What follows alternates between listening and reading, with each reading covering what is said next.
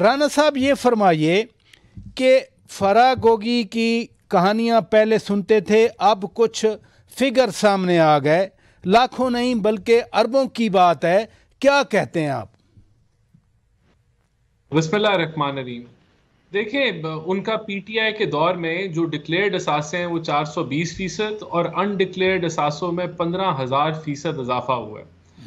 دیکھیں فرا گوگی جو ہیں کوئی بالکل ان کے پاس کوئی سرکاری یا سیاسی عہدہ نہیں تھا لیکن وہ جو عمران خان صاحب ہیں ان کے گھر کا حصہ بنی ہوئی تھی۔ وہ جو خواتین اول ہیں ان کی دوست تھیں اور وہ بہت ہی پولیٹیکلی انفلوئنشل خاتون تھی ہم نے آڈیو کالز دیکھی جس کے اندر وہ کچھ انگوٹھیاں اور ہیرو کی باتیں ہو رہی تھی لین دین کی ایک پراپرٹی ٹائکون ملک ریاض کے ساتھ غالباً یا ان کی بیٹی کے ساتھ۔ تو اسی طرح آپ نے دیکھا کہ ان کے جو چار سو ساٹھ ارب کا جو ان کا پیسہ یو کے نے پکڑا جو کہ یہاں جمع ہونا تھا ٹریجری کے اندر اس کو ایڈجسٹ کروایا گیا ان کی پینلٹی کے اگینسٹ۔ اور اس کے عوض القادر ٹرسٹ میں جو ہے وہ خان صاحب اور ان کی اہلیہ نے جو ہے وہ درجنوں کنال جو ہیں وہ حاصل کیے۔ وہ ایک رشوت تھی۔ اور اسی طرح فرق ہوگی جو تھی وہ بروکر تھی فرنٹ مین تھی عثمان بزدار صاحب ہوں چاہے وزیر اعلیٰ کا دفتر ہو چاہے وزیر اعظم کا دفتر ہو اس کو استعمال کیا گیا۔ یہ آج بات بات عثمان بزدار کے حوالے سے ہوتی رہی لیکن وہ تو پریس کانفرنس کر چکے وہ تو پوتر ہو گئے وہ تو چھوڑ چکے۔ اب عثمان بزدار کو تو امپلیکیٹ نہیں کریں گے نا۔ اب تو جو خاتون اول کی بات آپ نے کی اگر امپلیکیٹ ان کو کرنا ہے تو کوئی ڈائریکٹ لنک تو اسٹیبلش ہونا پڑے گا نا رانا صاحب۔ دیکھیں چوبیس گھنٹے وہ ایک دوسرے کے ساتھ ہوتی تھی۔ مسئلہ کیا ہے؟ اب دیکھیں بالکل یہ نیب کا ایک بھرپور کیس بنتا ہے۔ ان کو ملک واپس آنا چاہیے۔ اگر وہ سمجھتی ہیں کہ یہ بے بنیاد الزامات ہیں تو وہ ملک واپس آئیں اور ان الزامات کو فیس کریں۔ اپنے آپ کو پیش کریں اپنا نام صاف کریں۔ لیکن یہ بھی ایک اسٹریٹجی کے تحت سب جانتے ہیں کہ خان صاحب نے ان کو بڑے وقت کے اندر اندر جو ہے وہ ملک سے باہر جو ہے رستہ فراہم کیا کہ وہ پہلے ہی نکل جائیں۔ ان کو پتا تھا ان کی حکومت ختم ہونے والی اور یہ پول کھلنے والے ہیں۔ تو اس سے بھی یہ ثابت ہوتا ہے کہ وہ ملوث تھے۔ دیکھیں لنک تو بے پناہ اور بے بہت زیادہ ہیں۔ یہ نیب کا فرض ہے جو کہ ایک کہ نیوٹرل طریقے سے وہ آگے بڑھے اور ریڈ وارنٹس کے لیے اپلائی کریں چلیں چلیں۔ آپ نے آپ نے نیب پہ چھوڑ دیا معاملہ۔ شیلہ رضا صاحبہ آپ کیا کہتی ہیں؟ ایک بہت بڑی خبر آج سامنے آئی فراگوگی کے حوالے سے۔ دیکھیے بہت ساری باتیں تو وہی ہیں جو اگر میں کروں گی تو ریپیٹ ہوں گی۔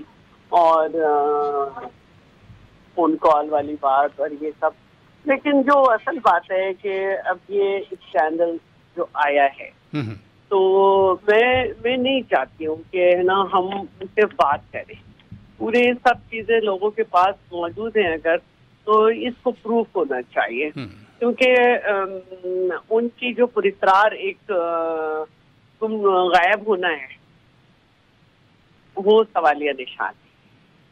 اور یہ بات مجھے جب اچھی لگے گی اب جب یہ سارے اگر ثبوت تھے تو ان کو بالکل گرفتار کر کے لایا جائے اور مقدمات چلے جائیں چلائے جائیں۔ اگر یہ اسی طرح آنا ہے اور اس پہ اسی طرح بات ہونی ہے روزانہ، تو میں اس کلب کی ممبر نہیں بن سکتی۔ میڈم میڈم بات یہ ہے آپ نے فرمایا کہ پر اسرار طور پر چلے جانا وہ تو سم ٹائمز لوگ روپوش ہو جاتے ہیں کسی خوف یا ڈر کی وجہ سے یا پروسیکیوشن کی وجہ سے پرسیکیوشن کی وجہ سے۔ یہ جو خاتون اول کے ساتھ ان کو لنک کیا جا رہا ہے بشرا بیگم صاحبہ کے ساتھ اس کو اسٹیبلش کرنا کو اتنا آسان تو نہیں ہوگا۔ بے شک وہ چوبیس گھنٹے بھی اکٹھی رہتی رہی ہوں۔ دیکھیں اگر اسٹیبلش نہیں کر سکتے ہمارے ہاں کے ادارے تو مجھے تو اچھا نہیں لگے گا کہ